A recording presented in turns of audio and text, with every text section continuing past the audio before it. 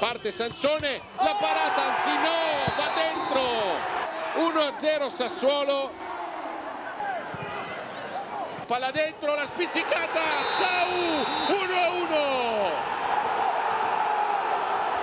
Pisiroli spizzica di testa in mezzo all'area Bruno va giù calcio di rigore ed espulsione Sansone contro Colombi, ovviamente di sinistro, spiazzato il portiere, Sassuolo 2, Juve Stabia 1.